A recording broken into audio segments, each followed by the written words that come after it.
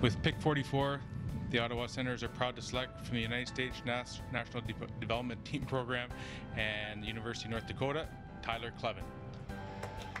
Tyler Kleven, defenseman, NTDP the USHL. He's from Fargo. Oh, yeah, you betcha, yeah. Let's go, Kleven!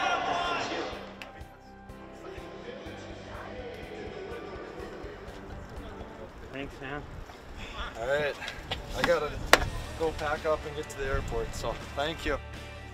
I think it's very uh, a, pr- a proud feeling for him. I know for sure, and it's a proud feeling for our program. You know, obviously the state of North Dakota has produced some good players over the past few years, but with uh, the rise of uh, youth hockey in this state, uh, it's nice to see Tyler lead the way here a little bit as far as knowing that you know if you work hard enough and you have a passion, you have a focus, focus and drive and determination, you can uh, try to re- reach the highest level. And albeit being drafted, you know, there's a long way to go for him stepping on the ice in an NHL game. But you know, he's made a great progression from youth hockey to uh, to work to college hockey now, and, and hopefully at the NHL level.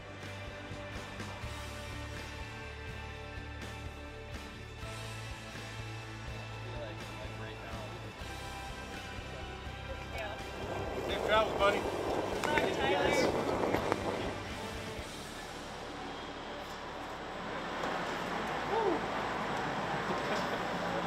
Okay.